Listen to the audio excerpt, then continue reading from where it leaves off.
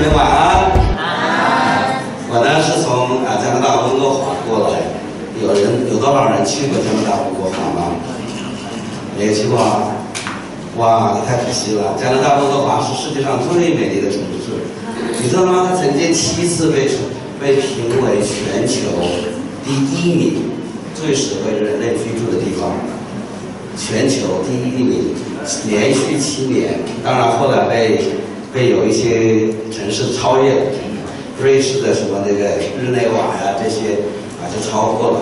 你知道它现在慢慢的都在往下降，你知道它为什么吗？因为温哥华的犯罪率在近几年有很多的提升，啊，犯罪率有很多的很多的提升。它的原因就是因为它很多的一些非常不好的法律开始在这个国家通行。我不知道那个，我不知道马来西亚那个贩卖毒品是不是像新加坡那么严厉，啊，只要多少毒品你就会判死刑。你知道在加拿大的毒品是合法的。所以你看这两个国家差异是那么的大，所以它所以毒品重毒品合法啊，销售毒品合法啊，吸毒合法，甚至可以到青少年到儿童啊都可以吸毒，所以这个国家呢，从此以后就看到它急速的下滑。温哥华现在变成一个犯罪率逐渐节节攀升的一个叫一个城市，曾经那么美好的一个城市，现在乌烟瘴气。我自己生活在那里二十年，我眼看着这个城市、这个国家在从很好的地、很好的位置、很好的样子，慢慢、慢、慢慢的就越来越下滑。我了解到我们很多华人的移民，甚至很多的人都说我们是否在考虑继续要留在中国呃留在加拿大，因为加拿大是在世界上在前几年是世界上数三第四个，好像是第三个、第四个同性恋合法。然然后呢，就很多很多的奇怪的、奇奇怪怪的法律就开始通过，啊，这这些自从那个政治正确啊、自由、自由白种这种这种思潮在西方开始盛行，其实也是有有有离开神很多年以后，慢慢慢的结出的果子。他们就开始呢，叫厕所法案，就开始，我不知道大家有听说过厕所法案没有？厕所法案就是在公共场合、学校。啊，学校啊，学校的各种公公共场合，所有的厕所呢都是可以随便进，男女不分，就是说你可以随便啊。他的意思就是说我生你的性别啊不是你的真实性别，你的心理的性别才是你的真实性别，而且这个性别是可以随时变的。啊，我现在我觉得我是个男人，但是我可能下一分钟我觉得我是个女人，我就可以进女厕所啊。进了女厕所，进女澡堂，进女厕所，任何女性的地方，女更衣室，我都可以进去。这是全加拿大联邦法律通过的。你要明白，这个法律不是儿戏的。意思就是说，这个法律必须得到贯彻，而且，如果你触犯这个法律，你是被判刑的。什么叫触犯这个法律呢？就是你拦阻了别人，阻止了别人，或者是，或者是。啊，有就是啊，你哪怕有意识的歧视了别人这样做，你就是违法。比如说，女士们、姐妹们，你在更衣室里，突然有一个男士进来了，然后你就尖叫一声，你是自然的反应，对不对？对不起，可能要把你控诉上法庭，要判刑，因为你这是严重的 discrimination，这个叫这个叫那个这叫歧视。你要知道，西方国家的歧视是非常严重的。如果要是说你是歧视罪，那是相当于中国的反革命罪，这是非常严重的一种罪，是是判你是最，他们国家是所有的政治政治人物，他最害怕的，你就是说到说到底是啊那个歧视罪，所以你就知道它的邪恶程度。而且现在因为这个同性恋合法，LGBT，我不知道 LGBT 有多少人知道这个。这个词，LGBT，LGBT，LGBT 就是同性恋的这一个英文的总称。LGBT 呢，现在今年呢，我们的新学期，我们我们这个省叫 BC 省，叫 British Columbia，就英属哥伦比亚省，刚刚通过教育法案，就要在学校里正式的教材和课程推动。还 LGBT 教教育，叫性教育，就是性啊性各种教育。然后他的教育里呢就开始逐渐的混混，那就是取消男女之差别，所有的名词的称呼 boy 不能叫 boy，girl 不能叫 girl，叫 kids 或者是 parents 呢父母 father and mother 不能叫，而叫 adults，或者叫 guardian，就是 parents 叫 guardians，就是各种词都要开始改变，就是监啊守护着。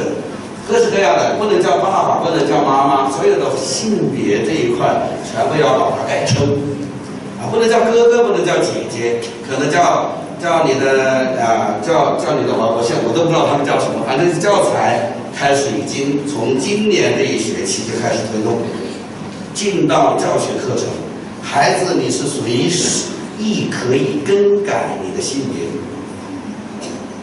啊，所以呢，你的性别不管你多大年龄，所以教育法给你这个权利，孩子是可以更改你的性别，家长无权干涉，没有权利干涉，也不必要知情。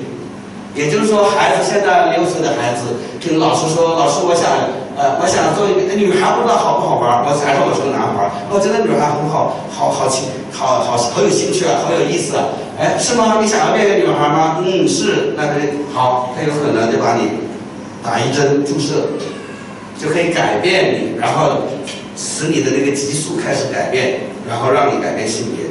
家长无权干涉，你干涉你违法。这不是只是说着玩的，这是合法的。所以你只要触犯法律你是要被判刑的。这就是现在这个时代，现在到了末世的末世，我不知道大家有没有这个感觉？现在这个时代已经进入到了末世的末世，你没有感觉吗？你们同意这个我这个说法吗？现在已经到了末世的最后的时段了，末世已经快接近。整个人类已经快接近尾声，基督快要再来了，你们有这个感觉吗？有吗？是不是感觉到你的周围都在开始改变，人心都在改变，道德都在改变，自然环境都在改变，气候都在改变。你发现有些极端的气候都在都在频频发生，是不是？过去从来没有这种奇奇怪怪的天气，是奇奇怪怪的气候，好像地球在生病，是不是有这种感觉？是不是人类在生病？好像你周围的人在都在生病。每一个人群道德各种奇奇怪怪的一些道德故事，你都可以听到。一些一些非常不近人性、冲破道德底线的事情频频发生。是不是发现有这个现象？好像现在人心不古，你看人非非常的各式各样的现象。你在你的周围，我不知道马来西亚是不是，可能是不是在在作为亚洲国家。是不是感觉还要好像还要没有那么那么那么那么感觉？你像台湾的中华文化的台湾，是不是是持守中国文化最好的？同性恋它是第一个合法化。他们现在要开始把各式的各样的那啊穆斯林啊呃伊斯兰啊都可以引进到台湾，让他们更多的移民进进入台湾。这一些你都知道，这个时代这个世界。如圣经所记，确确实实到了这个主耶稣所描述的末世的情况，无论是人心，还是自然，还是气候，还是生态，都在开始朝着一个方向在急速的下滑。尤其是我感觉到，好像在近一年左右，好像这个下滑的速度更加的加快，加速的季节，魔鬼也是在加速的季节，当然神也是在加速的季节。所以现在这个时代，这个时候，我记得我们在过去，我今天要跟大家讲的讲末世和基督再来。过去我们教会在开始讲末世的时候，我们是二零一一年开始末世转型。啊，我记得我们那个时候，二零一一就是一一年十一月十一号那一次，我们在温哥华有个全球的幺幺幺幺会议，回家运动，回家。我们那一次，大家知道回家吗？参加过回家吗？o c o m i n g 这个电影就是代表公司，在全球如火如荼的现在，所以呢，他们他们都是在温哥华。温哥华是一个运末世运动的一个母腹，有很多的运动都是从温哥华出来。回家运动、新妇运动，末世很多的都将在温哥华出现出来。当然，这也是神的拣选。所以在那个会上，我们第一次第一次对马太福音二十五章十个童女那个地方有一个深刻的认识。家教会，我们教会叫加恩教会，温哥华加恩教会，加就是那个那个好的意思，恩恩典的。所以我们那次呢就开始转型，从一个从一个一般的教会，我们一般的基督教会转型为牧师的教会。我们第一次领受聪明童女的意象，那五个童女，如果聪五个聪明的童女，五个愚拙的童女。所以我们我们从那一次看啊，就要转型，就是童女都是所有的讲的是基督徒，所以为面对基督再来，基督羔羊的婚宴的时候，基督徒会分为两类啊，这是打分来讲，分为两类的基督徒，一类是聪明的基童女，一类是愚拙的童女，所以。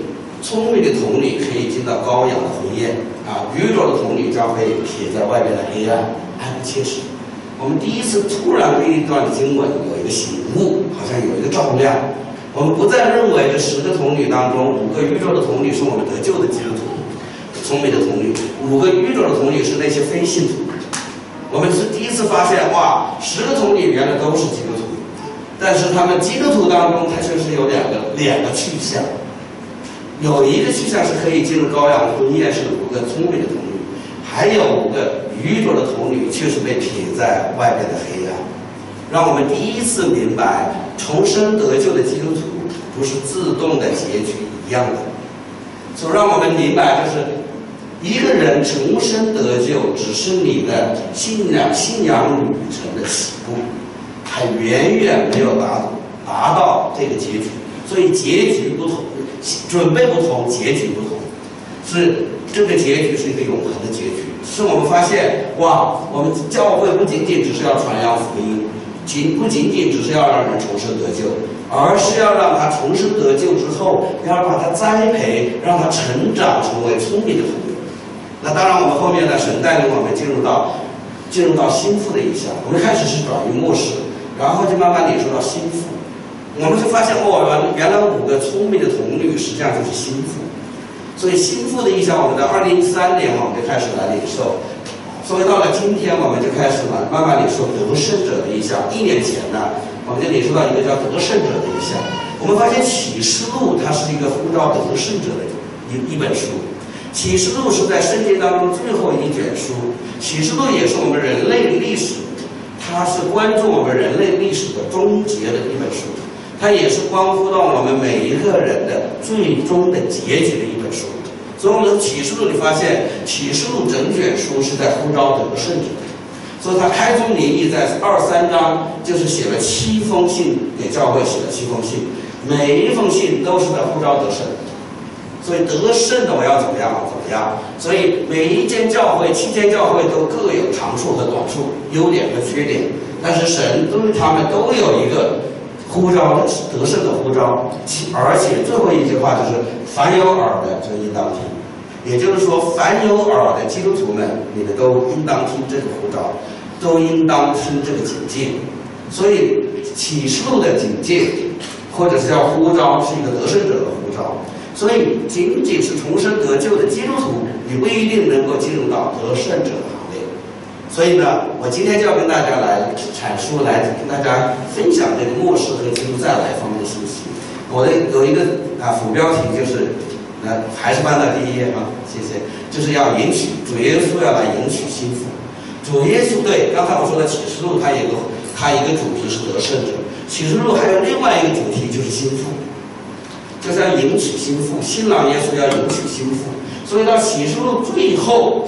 到整个教会的终结，到了最后的时段，就只有心腹。所以十九章七节就是你们要欢喜快乐，你们得你你们要欢喜快乐，荣耀的日子来了，就是就是主耶稣要来了。我们啊，启示录十九章七节，我们翻一下，那个电脑有吗？启示录十九章七节。这个是到了人起初十九章七节已经到了最后了，好是，我们要欢喜快乐，将荣耀归给他，因为羔羊婚娶的时候到了，新妇也自己预备好了，就得蒙蒙恩者，就蒙恩得穿光明洁白的细麻衣，这细麻衣就是圣徒所行的义。啊，从这里我们可以看到，实际上最后启示录，也就是到了最后的阶段，到了教会的历史最后的阶段，也就是到了人类历史最后的阶段，主耶稣他再来，他迎娶的是心腹，心腹且要自己预备，心腹不是自动促成的，是要自己预备好。心腹的特点是什么呢？是德穿光德蒙恩德穿光明洁白的细麻衣。这细麻衣就是圣徒所行的义，所以基督徒应该有两个义，一个是基督的义，一个是自自己的义。基督的义是因信称义，是不需要行为的义，是恩典的义。这个那个细麻衣，它实际上是圣徒所行的义，这就表明心腹它是有一个行为的，心腹是有生命的，心腹不是仅仅得救的人。心腹它是要属于生命成熟，毫无斑点、瑕疵、皱纹。这个是讲到生命，它的形意是隔穿光明洁白的细麻衣，是这样的一个标准。所以主耶稣再来，他将面临着迎娶的是心腹，而不是一般的信徒。那那我们就明白，那不是心腹的会怎么办呢？会是什么结局呢？那我今天我就要跟大家分享这一点。那我因为我想呢，是因为时间的缘故，可能不能用大家太多时间，我可能要分两次。明天我会讲下半部分，我今天就讲个开有有一个简单简简单的一些概括概论。那我们要讲到就是今天为什么我们要讲末世和基督再来？大家我要问大家，为什么我要讲末世，要讲基督再来？我为什么要讲？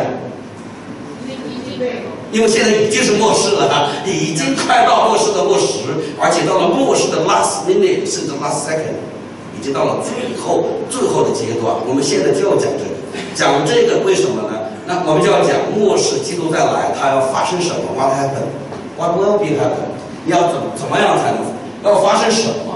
是不是我们坐在这里重生得救的？耶稣一来，我们全部被提呢？全部就是进天堂呢？我要我要跟大家澄清许多的许多的概念，你以为是？因为我们教导是这样子，我们历史年代的教会都这样教导，你只要得得救了，你就可以上天堂了。圣经末世开启以后，当你当你把 focus 放在末世以后，你会发现更加深入的去了解以后，没那么简单，不是那样子的，不是所有的基督徒都是一样的结局。有很大的差异，有许多的差别，所以我若是我们基督要来了，如果我们没有按照神的心意来预备的话，有可能，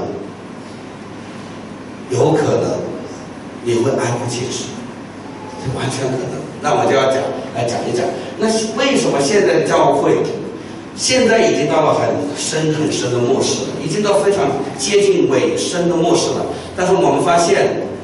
其实从我们教会从二零一一年开始，开始也是慢慢醒悟。我们发现普世的教会当中很少人真正为末世做准备。末世在靠近，基督的再来的步伐越来越迫近，但是很少的人，很少的人醒悟，开始为末世来预备。这就是二十五章十个童女里面为什么有聪明的童女也好，愚拙的童女也好，其实都睡着了。其实半夜的呼喊者是不是要喊耶稣要来了，我现在要喊的就是耶稣快回来了，所以实际上是要唤醒所有的童女，唤醒所有的童女你要快快的预备。若是你没有预备，你可能就不一定是聪明的童女，你可能是个童女，也可能最终成为一个愚拙的童女。当基督再来的时候，你可能被撇在外面的黑暗爱不清楚。那你可能会说，外面的黑暗那可能下地狱，那是不是？那是非信徒。那可能不是我们得救的人，得救的都，我们就是聪明的童女，那是过去的解释。童女从来都不会，非基督徒从来没称为过童女，只有妓女才才是那个非基督徒的称呼。从属灵的妓女，所以童女是被是被耶稣的宝血洗净得救的，所有的基督徒都被称为童女。童那个聪明童女和愚拙童女的区别是聪明和愚拙之分，而不是真假之分。他并没有说那五个愚拙的童女是假童女，耶稣在那里没有这个意思，他只是说他是愚拙的。他的愚拙在哪个点上呢？他有灯没有油。聪明的童女呢是有了灯也有油。那油是什么概念呢？有的人说油就是有圣灵，没有油就没圣灵。从我出生得救的，我就有圣灵，所以我的里面是有油的。你要知道，马太福音还有一个地方，主耶稣特别讲到七章二十一到二十三节，称呼我主啊主啊的人不能都进天国，唯独遵行我天父旨意的才能进去。那有人又要说了，那不是跟我讲的，那是跟飞机都讲的。那我要明要我要澄清一点，马太福音五章六章七章俗称为登山宝训。我要问大家，登山宝训主是对谁讲？这三章是对谁？他的听众是谁？门徒。也就是说，五章六章七章所有的门徒对门徒讲的，不是对非基督徒讲的。你不信去看五章，门徒聚集在耶稣的脚前。门徒在那个山，在那个那个地方，在在耶稣的脚前听耶稣的道，所以那个警戒是对基督徒讲的。我要澄清这，当我们讲到末世，当我们去研究末世的时候，我们发现圣经当中主耶稣当中很多的警戒，很多的严重的警告都是对基督徒讲的，但是我们都把它旁通，我们把它说那是非基督徒，以至于让所有的警戒我们基督徒全部旁通，认为那不是对我讲。以至于圣经当中所有的警戒对我们完全被解除，所有的警铃被解除。你知道你的 alarm 吗？这个报警啊，如果你要偷偷的把这警铃给它解掉了，那就很危险了。也就是说，所有的警报发不出来，因为那不是对我讲的。就像我们听到这警铃它响，突然响的时候，我们就说哦，那不是，这警铃不是我们这边发出来的，不是我们这边有问题，是隔壁有问题，是那个那个 building 有问题。那个房子有问题，不是我们有问题，因为那个警铃，我们基督徒从来不需要警铃，只有非基督徒才需要警铃。那我们是基督徒，我干嘛要警铃呢？所以圣经当中所有的警示、警戒，全部对基督徒失效，我们把它屏蔽、旁通。所以主耶稣的所有的警戒的话语对我们完全失效，这是很危险的。你知道警戒，我们身身体当中也有很多警戒的信号的。你知道痛啊，它是一种警戒，痛感是一种警戒。如果你生命当中失去痛感，是很危险的。你知道有一些有一些人的身体里面是痛痛感消失的，那是非常危险的。有的时候血流可能流完了，他都不知道有问题，因为他不痛。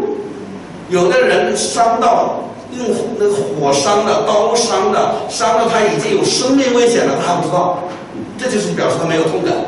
没有痛感是很危险的，所以现在神就是创造痛感，它其实是一个警戒系统，是一个警铃系统，是一个警报系统，是一个 alarm system。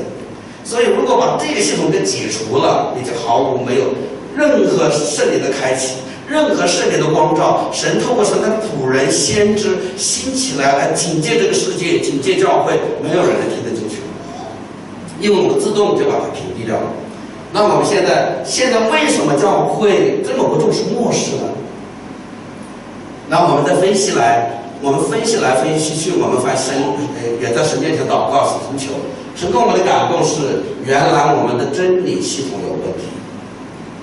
啊，就像你你知道新加坡有一个有一个有一个恩典福音，对不对？恩典福音我们大家都知道，恩典福音有问题有问题有问题，但是你知道它问题在哪儿吗？按照他们见证有问题，那见证我们见证也有问题啊！我们很多见证也归也有很多我们没那么准确的。你不能有见证，哎，他见证有的见证好像不太准，你不能以这个来判断。那哪个哪个见证可能都有点没那么精确的，都是有可能的。不能以这个来判断它是错误的，它错在哪个地方？你一定要从真理里面去找，它为什么会发生这样错误？后来我们发现，恩典福音的问题，它就是把。把把圣经当中的所有的我们身份身份的真理和那一个我们基督徒不是有个在基督里面的身份吗？这个身份和客观的身份和地位真理呢，把它等同于他的基督徒的主观的实际的属灵生命，他把他的身份和地位等同于他的实际生命。我们都知道，我们基督徒都是圣徒，对不对？我们基督徒都是我们一重生得救，是不是圣徒 S A I N T S，每个基督徒都是圣徒，对不对？保罗称哥林多教会一开始他就我的哥林多教会的是众圣徒啊，圣徒是是你的地位，你一重生得救是分别为圣的圣徒，你是神的儿女就是圣徒，但是你的实际属灵生命是不是圣洁的呢？不一定，这两者是不能划等号的。我们每一个重生得救的人都是圣徒，但是我们的实际属灵生命呢，可能不是圣洁的门徒。他把这两个真理搞混了，他就认为你只要重生得救了，你就是完全圣洁，不需要认罪。所以他错误就在这个地方，一眼神一推就推错了，推错了，就是真理架构出问题，真理体系出问题。他也抓住到圣经当中部分真理了，但是把它扩大了。把他用他自己的脑袋一诠释，然后呢，就恣意肆意的呢，又不又不领受教会的传承，然后就觉得自己很聪明，就一下总结出一个哇，就很很很奇特的结论，然后呢，就觉得哎，我跟众教会都不一样，两千多年教会的结论，哎，我发现有问题，我发现错了，他产生骄傲，就觉得自己找抓到真理了，所以他才会走到这样的偏差。其实他的偏差在这一点上。你抓住他这一点，就解他，你就解解解出解，你就能够解构他，他的问题出在哪里？那我们今天我要来也要来讲，为什么现在普世的教会对基督再来那么样的不重视呢？原因在哪里呢？我们要从从从这个教会的真理架构来来分析。那我们翻到下一页。对，我们为什么要讲末世？现在为什么要讲末世呢？末世，末世。那我们知道，我们都知道，其实从主耶稣第一次来复活升天就已经进入到末世，但是末世是整个一个时间段。那我们现在已经进入到了末世的最后一个阶段，你凭什么这样说呢？你凭什么说现在已经到了末世的最后一个阶段呢？你是只是看到外面的表现吗？你只是看到外面加拿大的法律一个个的邪恶的法律一个个的过吗？你只是看到气候越来越坏吗？你只是看到人心越来越越诡诈吗？你你从这儿来判断末世到了末时吗？那你这个判断实际上是很不稳的，是很没有没有扎实的根基的。那你这个你只能说这些症状已经表现了，哎，可以帮助我们理解，确确实实到了末世的末时，到了最后的一个阶段，其实那个是不能做根据的。真正的圣经根据告诉我们。为什么可以这样讲？我们现在到了末世的末时呢？有一个非常重要的一个历史事件发生，是我们的分水岭。是什么历史事件？你凭什么说两千多年来，现在这个时候已经到了末世的最后一个阶段？有一个事件发生，就是主耶稣说：“这无花果树发嫩长叶的时候，你就知道夏天近了，人子在门口。”这个世代没有过去，人子就来。无花果树是谁？大家知道吗？无花果树是代表以色列。记不记得主耶稣咒诅过无花果树？无花果树不结果子，主耶稣是不是咒诅它马上就枯干了？那个是代表以色列。以色列就是他没有找到以色列，以以色列领受了神的律法，成为神的选民。主耶稣来到地上，居然在以色列找不到一个果子。以色列怎么样呢？就被主耶稣就咒诅了以色列，以色列就亡国。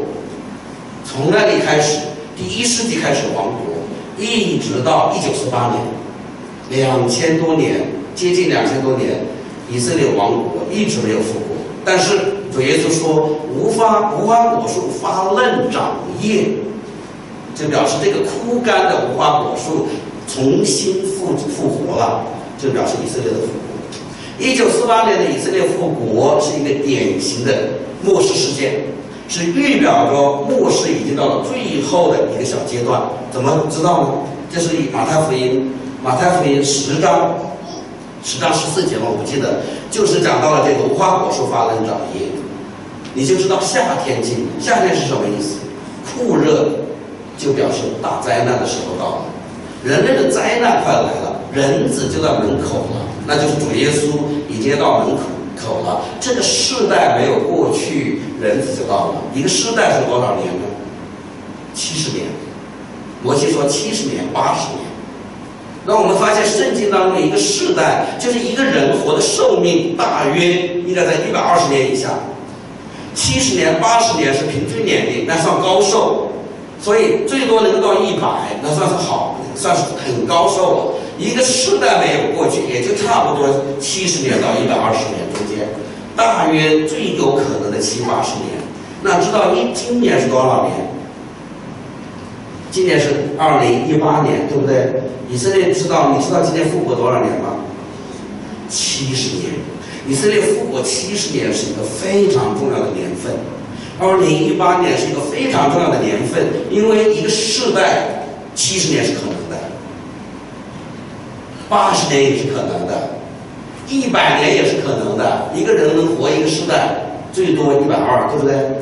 所以从现在开始。耶稣快回来是分分钟的事，随时随地。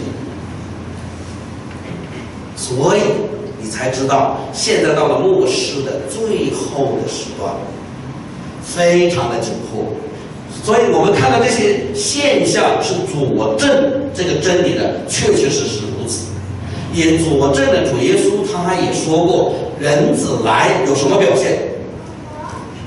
人子来有很多的那些人类社会的各种表现，现在历历在目，在全球各地，确确实实佐证了基督要来的那些表现。所以它的根基是无花果树发嫩长叶，这就是我们到了末世为什么要讲？因为已经到了末世，我们还不讲末世，那就你就没有预备好。没有预备好的，你就可能成为愚拙的童女，被撇在外边，进不了羔羊的婚宴，外面哀哭切齿。哀哭切齿什么意思？哀哭切齿不是欢呼喜乐的。基督再来的时候，居然有一部分基督徒不是欢呼喜乐的。你想想那秘密多可怕！所以现在神就是要来，神就是催促我们要到全球各地要来宣讲这样的信息。要醒过来，醒过来，要快快的预备，基督快回来。如果没有预备，你们就大部分可能被撇在撇在地上，进入到外面的黑暗，还不坚持，这是永恒的。你是出生得救的，你只是没有下地狱而已。但是你没有进天国，你只能说你没有下地狱而已。你没有进天国是一个哀不切齿的一件事。这是一个很可怕的事，所以现在的教会实在是要醒悟过来。我下面要讲的，为什么现在教会整个基督教会不重视基督再来呢？第一个原因就是对基督救恩认识的这一个啊这一个认识的偏差，对基督救赎认识的偏差。就是说，教会基督的教会从宗教改革五百年来。马丁路德宗教改革五点五百年来，当然五百年之前呢，天主教那就更糟糕。所以宗教改革，马丁路德恢复了一切称义的真理，恢复了耶稣基督第一次来钉上十字架所成就的救赎，成为基督教基督教真理的核心和根基，恢复了这个核心和根基，这是马丁路德的功勋。马丁路德在教会历史当中的这一个神呼召这个古人。所起所所做出的贡献，恢复了耶稣基督第一次来的时候十字架的真理，钉上十字架成就的救赎真理，成为教会的根基真理，成为教会的基础真理。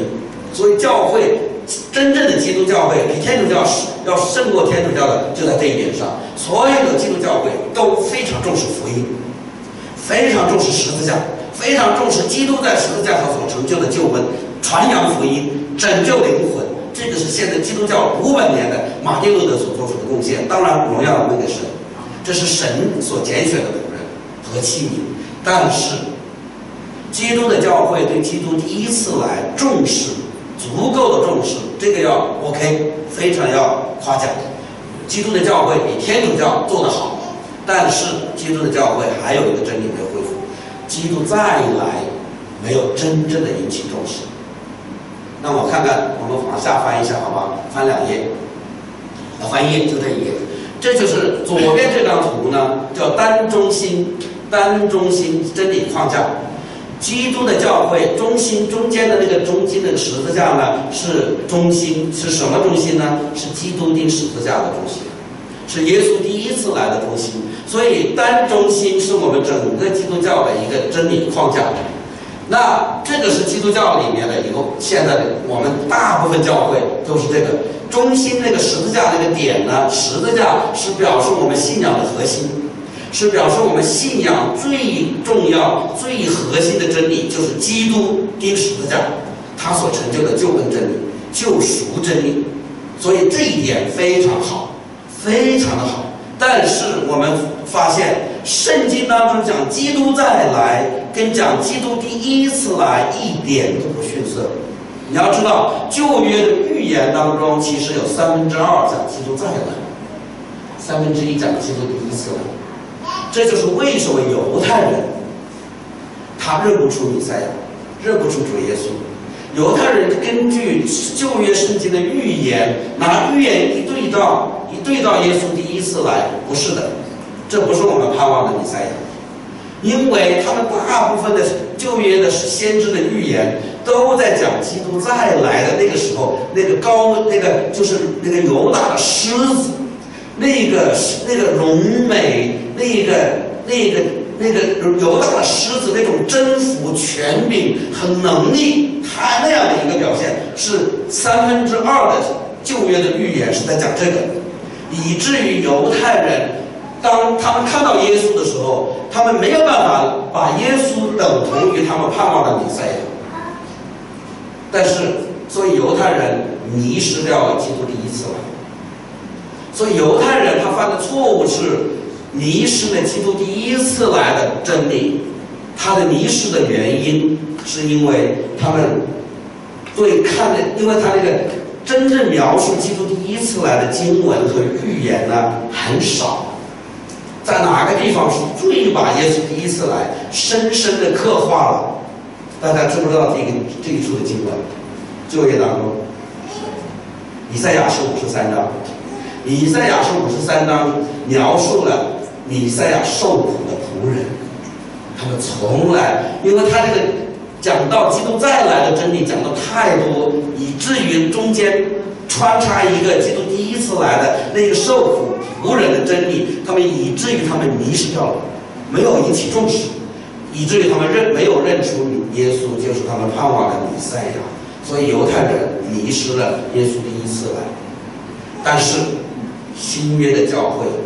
犯了犹太人的另外一个错，跟犹太人相反的错误，重视了基督第一次来，和迷失了耶稣第二次来。所以犹太人他不会迷失耶稣第二次来。我在犹太，我到以色列去旅游过，我的那个导游呢就是以色列人，他对犹对以色列的文化、历史、典故、圣经背景了如指掌。所以真正的犹太，真正的圣经教师都在犹太人当中。所以他们对这个对他对就对外邦人对圣经的解释，他完全藐视。他们觉得那是外行，真正的专家是犹太人。所以确实是这样的。他他说我们犹太人呢，绝对不会迷失掉耶稣第二次来。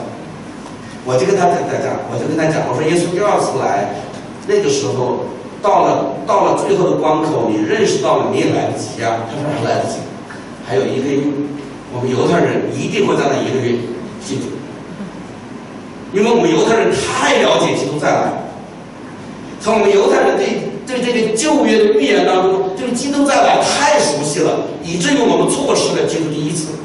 而你们外邦人，你们外邦的教会，这些外邦的新约的基督教会，你们抓住了基督第一次来，这个很好，你们是蒙了福。但是你们有一个巨大的损失，你们错失了基督。再来的信息，你们把基督再来的信息放在很边缘、很边缘，无关紧要，很少传讲，更不预备，你们会大失大大的错失基督再来。你们当基督再来的时候，你们外邦的教会大批的人会撇在外面，因为你们没有预备。原来是真理的架构出问题了。看看这边右边这个图呢，是双焦点系统，两个焦点，一个焦点耶稣耶稣第一次来，第二个焦点是讲到耶稣再来。这两个焦点是同等重要，这就是我们真理的架构出问题，不是真理的，不是真理的信息出问题。我们在单中心那个真理的体系当中也有基督再来，也有末世，我们的神学里面还有末世论的，还有基督再来的，基督论里面还有基督再来的。我们不是真理的真理的信息没有，我们都有内容都有。但是我们把它放在很次要、很次要、很不重要的位置。我们把我们把基督再来的放在一个非常偏远的地方，是一个教会论的一个真理。我们把预备预备心腹把它作为一个灵性栽培的真理，基督徒生活的真理。你知道基督徒的生活真理和救恩真理那是天壤之别的。当你一个真理把它归为救恩真理，就是被称为核心真理，被称为基要真理。当然，你把它化作是一个教会论的真理，教会它是基督的心腹，教会它是神的儿女，教会是神的军队，教会是神的家，这叫教会论。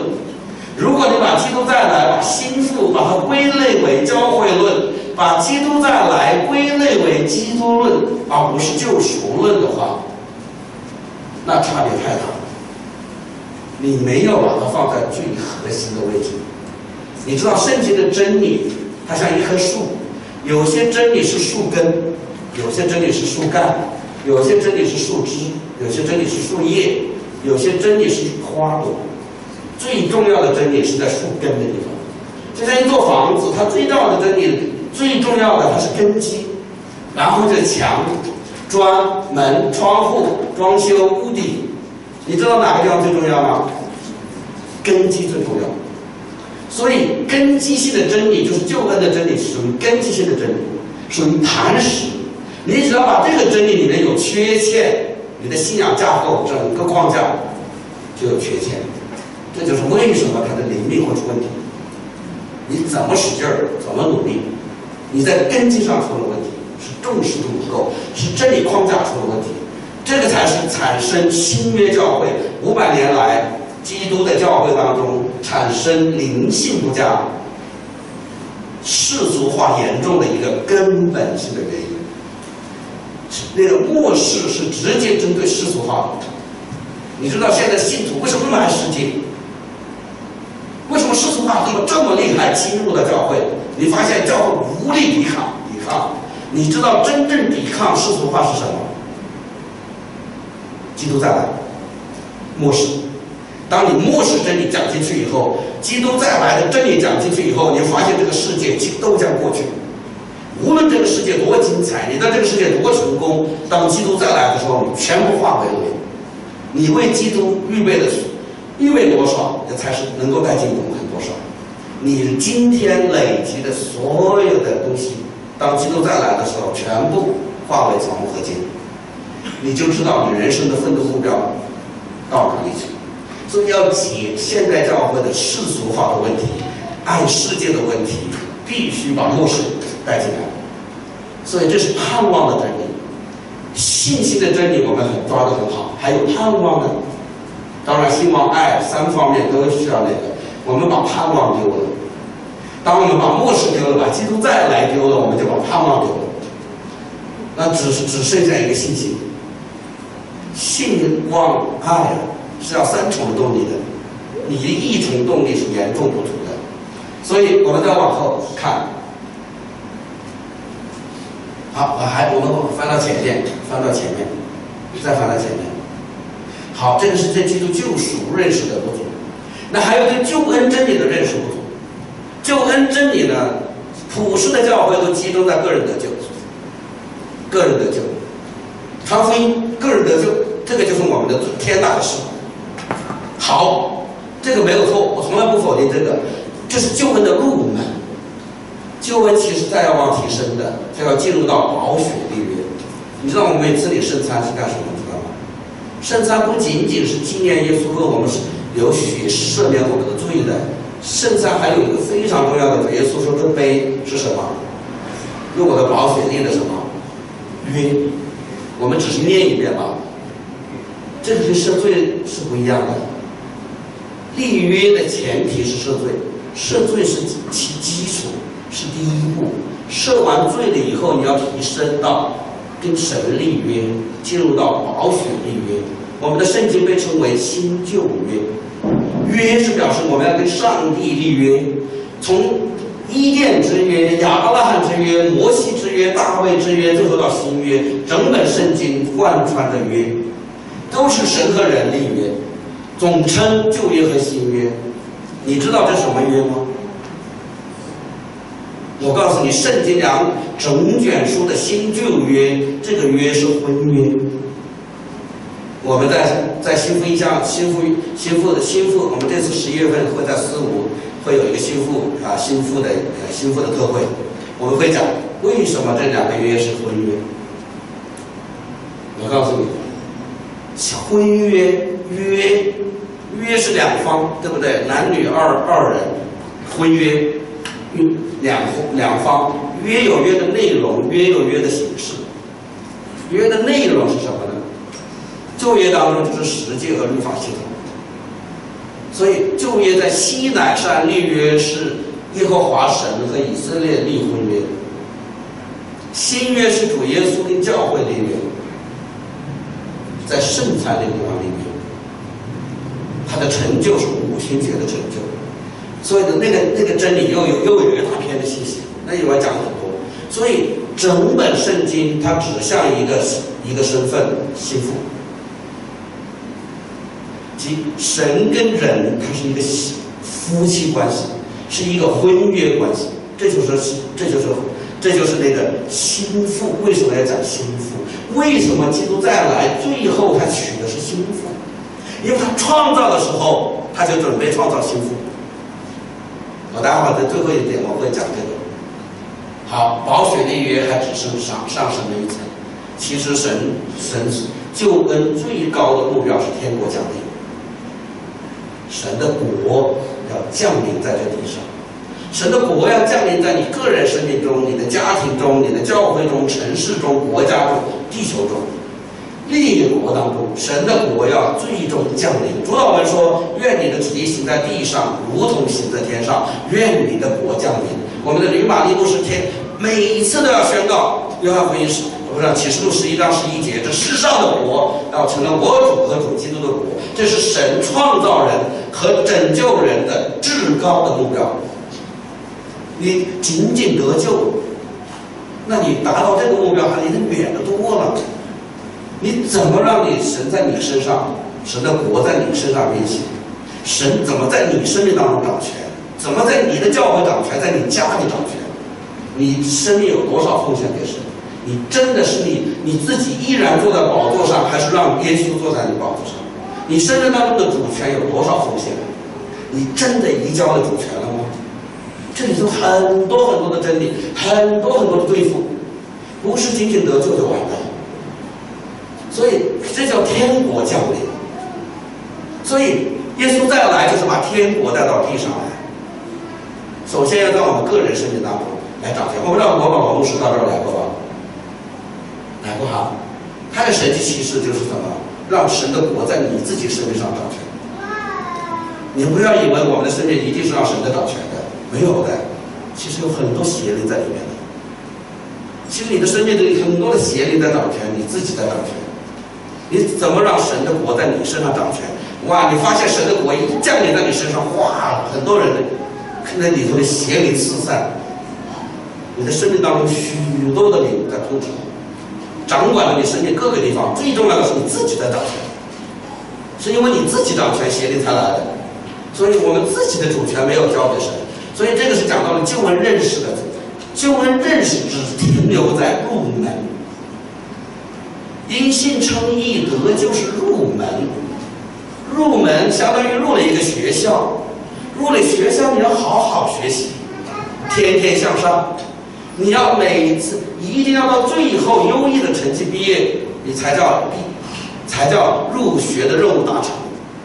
那现在的教会只管入学，大肆招生，说招生现在没有条件，这就是不，这就是因信称义嘛，不需要行为嘛，靠着神的恩典进所有的学校。你马来西亚最高大学是什么学校？最最 number one 的学校是哪一个？大学。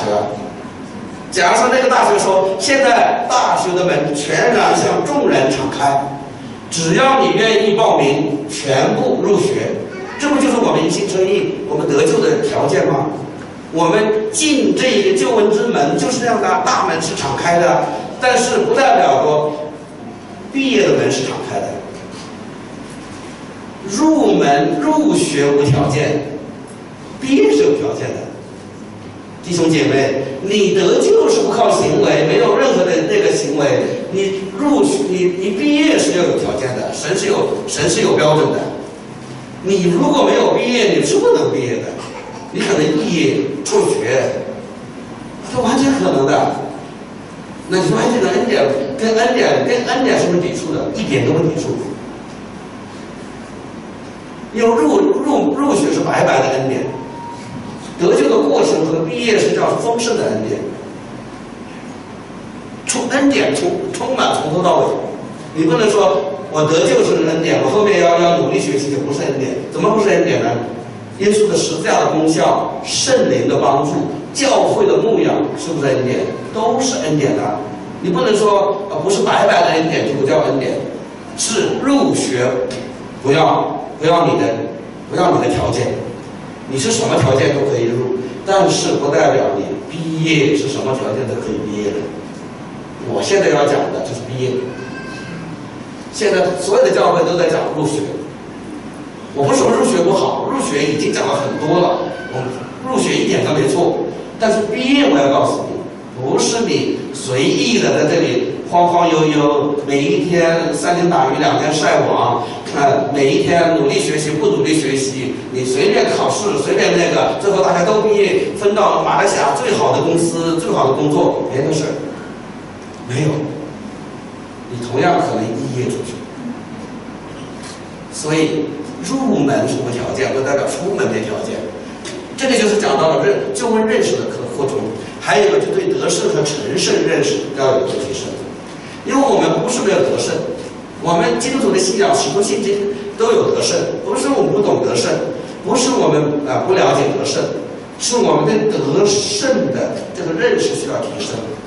得胜和成胜是我们救恩的完全，它是我们全被救恩的一部分。成胜不是基督徒领命排灾的问题，它是一个救恩完成的问题。所以，如果一个人没有成圣、没有得胜的，表示救恩在你身上没有完成，很严重到这个地步。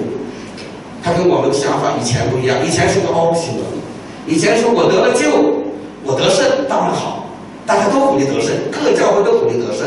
但是得不得胜、不得胜有什么后果呢？没有，你反正得救了，得胜比不得胜好，因为没后果。现在。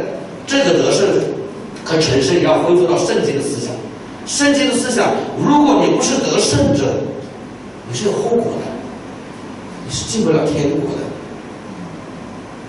你不成圣是进不了天国的。我不说你你下地狱啊，你你不下地狱，所有得救的人不下地狱，但是你不等于能够进天国。天国的概念，我们以后还会讲。我们和十一月份在四五也会再细致细致的讲天国是什么。在千禧年国的时候，就是在千禧年国就是千禧年国，在新天新地以后就是圣城新耶路撒冷。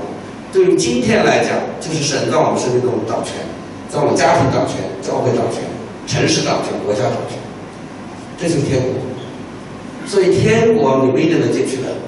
好，这个是叫，所以得胜和成圣的这个真理，要把它提升到圣经的本意，是救恩真理，它是必须的，没有的话，它是有后果的。好，神的心意，最后从神的创造看心意，亚当夏娃被造，其实就是神就是要呼召真儿子，呼召儿子的幸福。亚当是代表了儿子的，夏娃是代表心腹的。所以神在我们身每一个人类的身上的心意是要呼召儿子和心腹。儿子是对天父讲的，心腹是对基督讲的。儿子，你说我们都是儿女啊，都是神的儿女，儿女不等于儿子。我们每一个重生得救的人都是神的儿女，the children of God。所有重生得救的人说我们有神的生命，是神生出来的，我们都是神的儿女。儿女是 children，儿子是什么？你懂懂吗？儿子是 son，is o n。儿子跟儿女的差别是天壤之别。儿子是代表成熟的儿女。是能够继承产业的儿女，是能够跟神同坐王掌权的儿女。所以儿女是要成长。你想想，你养过孩子没有？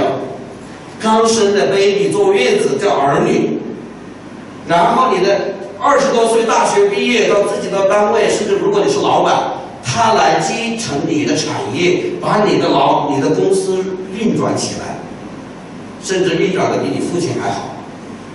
这个才叫儿子，儿子是可以继承产业的，儿子是继承神的产业是什么意思？是表示神要把地球的产业给到人类，让你要统管地球，你要跟做君王，你要做祭司，你要跟基督同坐王权，同坐宝座，一起掌权。所以神现在就在呼召这样的儿子们，未来你是要跟基督同坐王的。所以，基督被称为万王之王、万主之主。万王是谁？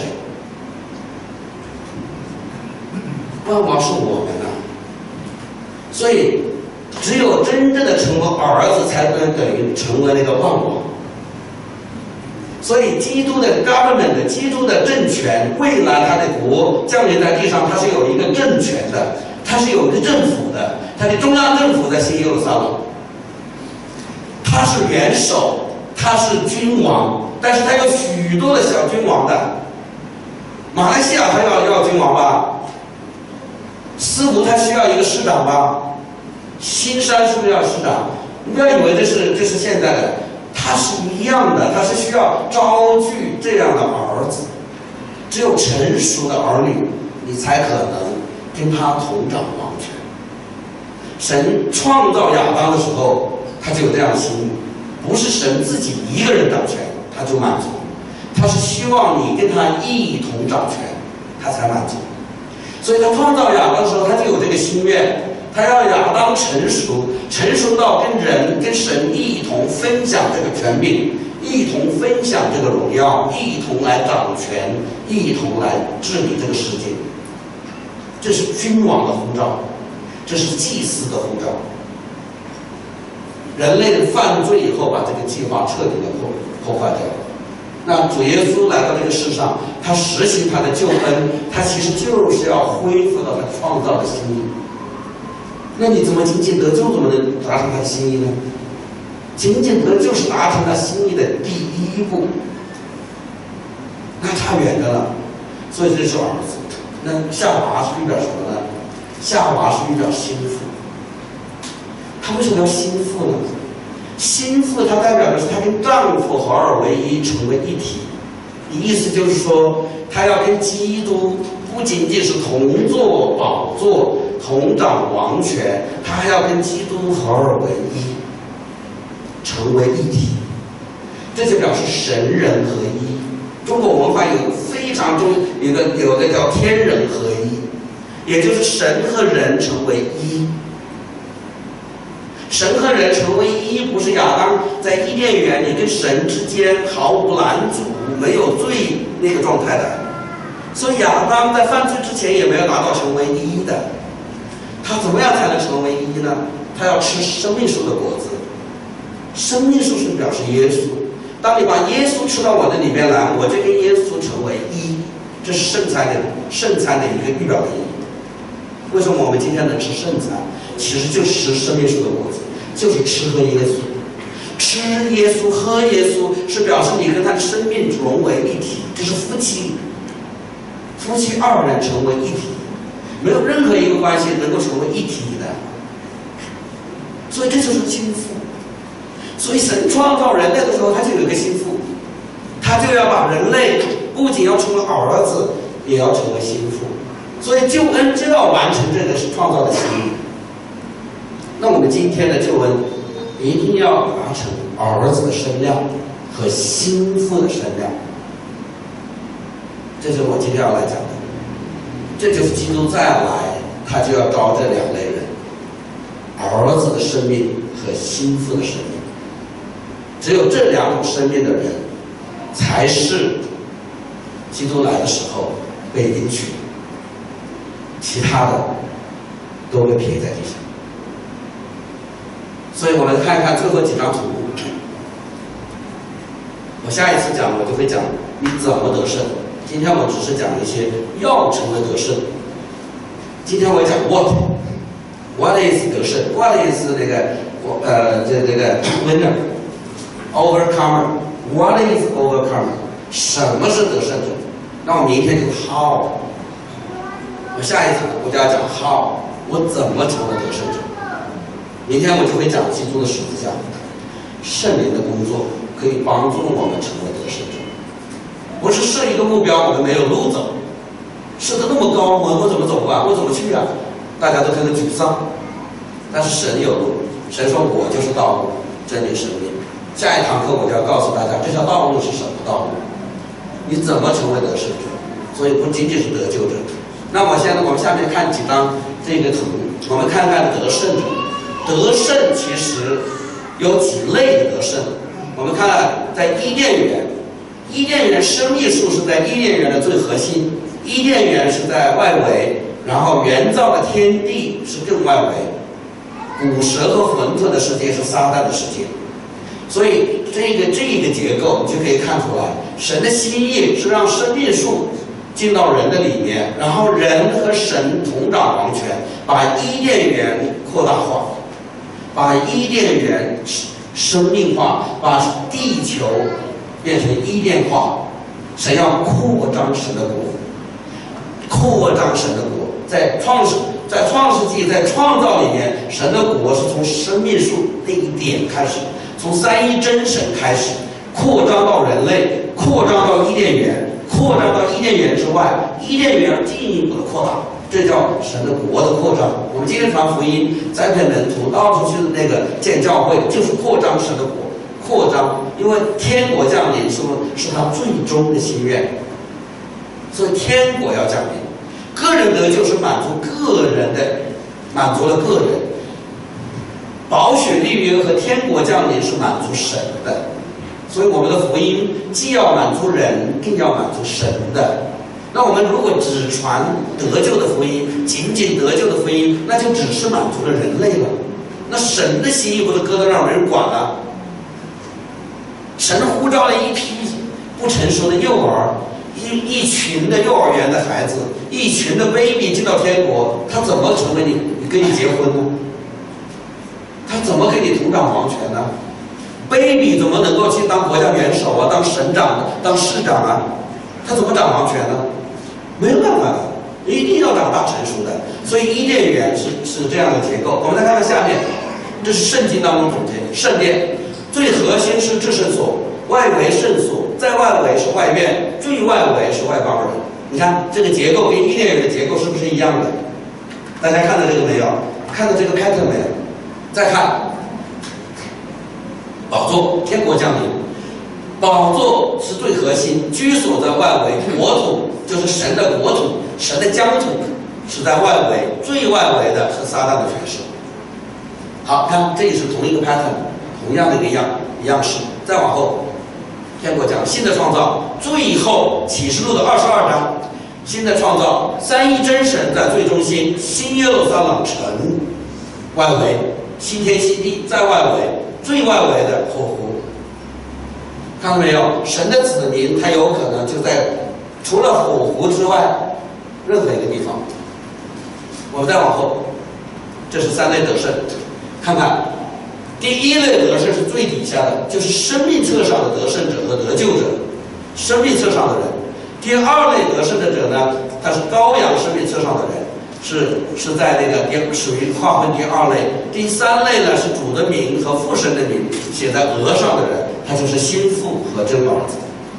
所以心腹和真儿子是最高的得胜者，是第三类得胜者。我们再看看这几类人住在哪里。第一类得胜者住在城外，不能进城；第二类得胜者住在城外，可以进城；第三类得胜者住在城内。所以我们通称为第三类的得胜者为城里人。我们在永恒当中愿不愿意做城里人？我想问问大家，你愿不愿意做城里人呢？城里就是新耶路撒冷城。所以心腹得胜者真儿子。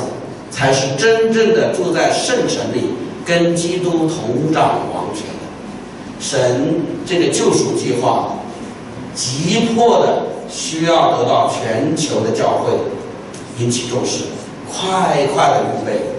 神的心愿远远没有达成，神的心急迫，非常的急迫，非常的急迫，让全地的教会明白，许多的教会没有重视。没有预备，神多次的推迟他的再来。如果你跟于马林牧师了解跟他接触深，你就知道，多次的推迟他的再来，是因为地上的教会很少的预备好。如果他按照他的时间来的话，大批的人没有被拯救，大批的人没有预备成为得胜者，这是神不愿意看到的。所以神在呼召，在全地，在全球呼召这一些，这一些啊，耶稣再来的这一个呼喊者，或者叫，或者叫那个施洗约翰，那个第二次来的施洗约翰者，要来为耶稣荣耀再临来预备道路，来传讲这样的信息。感谢赞美，一切荣耀归给神。阿门。谢谢大家。我们说到什么话？我觉得有一个非常重视的一个事情，可能我们只是这样的知道我们得救，但是我们最终的成绩是很重要的。就像今天要用个皮非常好，任何的入学考试如果没有要求，这样子可能就没有真正的一个最终的目标。所以今天弟兄们，当你听到这些。也很简单，你要做最终在这幕后，要做一个神的儿儿子的身份，要做一个真正的幸福，就是我们不断要成长的一个能力，不断要学习，不断愿意跟随神，我们不要只是做一个仅仅得救的基督徒，我们要做一个得胜者。得胜者，因为那个是最美好的，享受高人的宴席，而不是还有得救，但现在门外还不切齿。我相信那一个是非常后悔的一个结局。所以是时候我们要愿意的，听了多少你就要回应多少。阿门。是耶稣，我们谢谢你，在今天晚上。让我们再次的被提醒、被更新，甚至被唤醒。我们到底是怎样的一个基督徒？好不好？你安静想想一下，我们到底跟神的关系是一个真的有儿女的一个真正的身份呢？是不是一个幸福的身份？什么是幸福？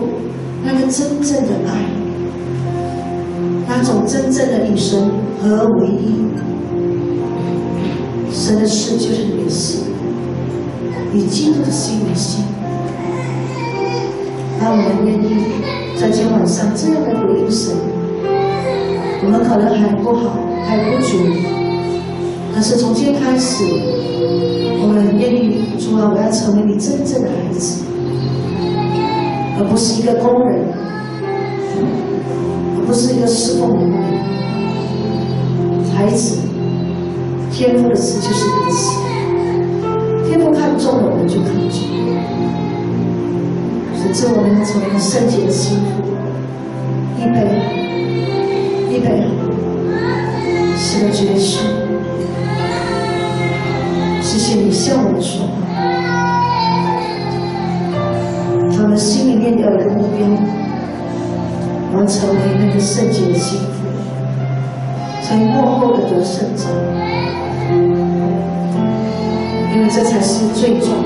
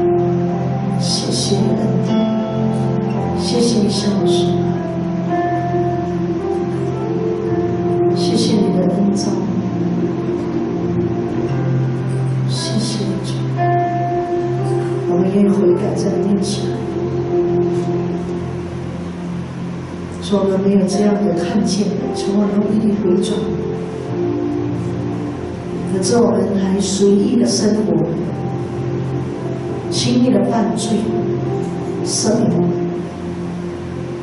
你们不知道我们失你的幸福。耶稣，谢谢你，我的心给你转向。是的，你是你的火焚烧我，你圣洁的火复兴的火，大大的焚烧我们。而不靠我自己是圣灵我需要所能活出基督的样子他的力量是耶稣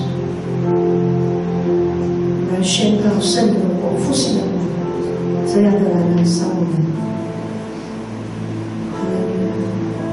耶稣我们欢迎你。